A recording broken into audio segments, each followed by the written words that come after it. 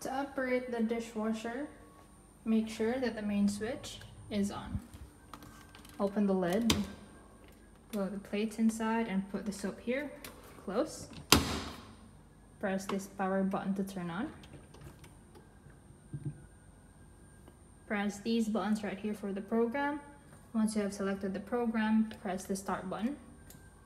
Once the timer stops, you can turn off the dishwasher and press this power to switch off.